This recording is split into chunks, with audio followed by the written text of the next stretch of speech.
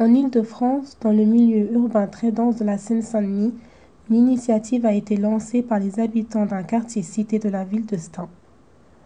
En juin 2013 est inauguré le jardin partagé du Moulin Neuf. Il est co-géré par l'association amicale des locataires CNL et par le lieu d'écoute et de rencontre, un service de la ville de Stein. De par son passé industriel, les sols du département connaissent un fort taux de pollution, rendant difficile une culture de la terre saine et pérenne.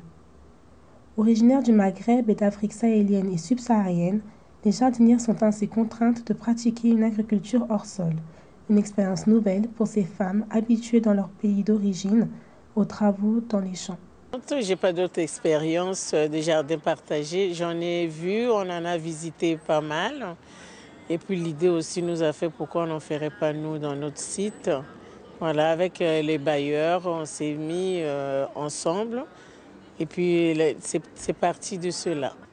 Ça s'est déroulé en faisant des réunions, beaucoup de réunions en amont, en invitant euh, les locataires, surtout en particulier les femmes, parce que les hommes d'ici, ils ne sont pas tellement partants sur ces genres de choses. Une certaine effervescence grandit au pied du Moulin Neuf. Les jardinières ont fait le choix commun de collectiviser les parcelles. Chacune participe selon ses disponibilités. C'est à la deuxième réunion qu'on a eue, qu'on a fait à prendre part, a dit qu'il fallait qu'on se scinde en six pour pouvoir occuper un bac par euh, six personnes. Donc, euh, chaque euh, groupe de six personnes, il y avait un responsable. Donc, c'est mieux quand il y a des affinités, ça fait moins de complications et il y a beaucoup plus d'entente. Il y a moins de querelles déjà. C'est pour cela que ça a si réussi cet été quand même. Moi, je viens tous les jours. Là, le matin et le soir. Vraiment, j'adore ça. Ah oui. Même il n'y a rien à faire. Tous les jours, même les gardiens. Il m'a dit, Madame Boukira, tous les jours, tu es là. J'ai dit, j'ai fait un petit tour. Après, je monte. Ce matin, j'ai passé, j'ai tourné un petit peu la terre, j'ai regardé la salade qui commence à pousser. Les jardinières ont bénéficié du soutien de l'association Le Sens de l'Humus, dont l'objectif est de transmettre un savoir-faire en matière d'agriculture biologique. Cette aide, ajoutée à leur propre expérience, leur permet de faire pousser à la fois des produits locaux et tropicaux. La difficulté, c'est parce que bon, on ne savait pas quoi planter, et on ne connaissait pas trop qu'est-ce qu'il faut planter là et qu'est-ce qu'il faut planter dans le bac? Le sol est pollué. On préfère mettre les tomates parce que les tomates, ils poussent euh, en dehors de la terre. Il y a une dame euh, qui vient chaque, euh, chaque semaine, non? Chaque semaine, tous les 15 jours. Voilà, il montrait comment faire. Il a dit pendant l'hiver, c'est les sous qu'on doit, on doit la mettre. Euh, on vient planter encore euh, les sous chinois, sous français, et carottes et poivrons. Mais c'est bien poussé. Hein. Mm. Vraiment, cette année-là, c'est l'année dernière. Quoi. Elle a bien poussé tout qu'on a planté. Il y a beaucoup d'eau déjà. la terre elle est beau. Mm. Comme c'est la première année qu'on a planté, ah, ça pousse très très bien. Ah, on a eh, mangé la On a, mangé, on a bien mangé. Les citrons aussi. Surtout les citrons. On a bien mangé, ça. Depuis un an maintenant, ce jardin rassemble mères, enfants et grands-parents autour d'un plaisir commun. Nous sommes très contents d'avoir ce jardin partagé. C'est la joie de venir tous les après-midi cultiver, et échanger des idées. C'est comme une famille.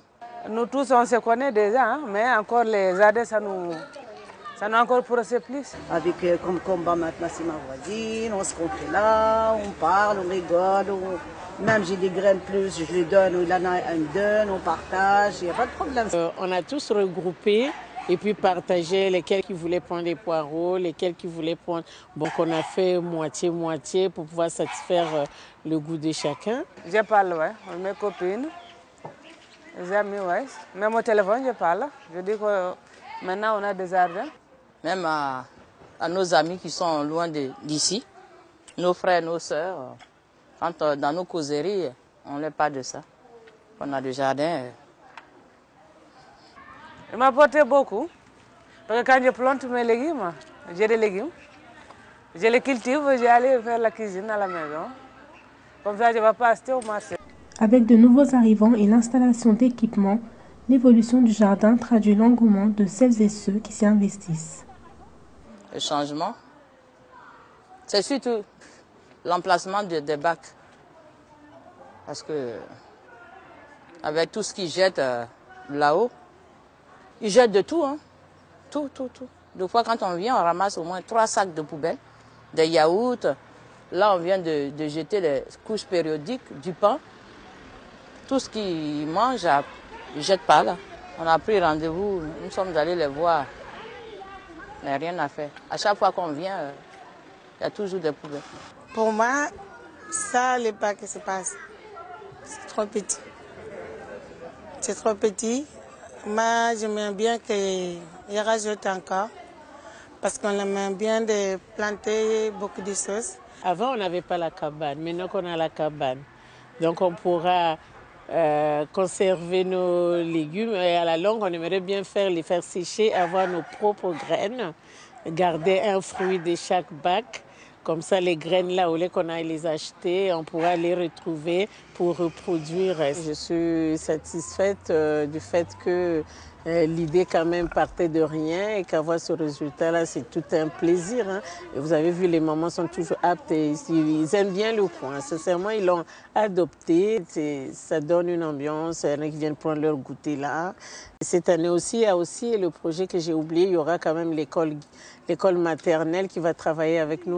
On, va leur donner un bac pour que les enfants viennent aussi euh, commencer déjà à apprendre la valeur des, du potager. Donc ils viendront aussi planter leurs euh, légumes euh, avec nous ici. C'est notre futur projet aussi. Pour le moment, l'expérience du jardin partagé du Moulin Neuf s'avère positive. La production est bonne, le lien entre les habitants trouve une nouvelle place où s'exprimer et son action s'élargit en touchant un nouveau public, celui des écoles maternelles.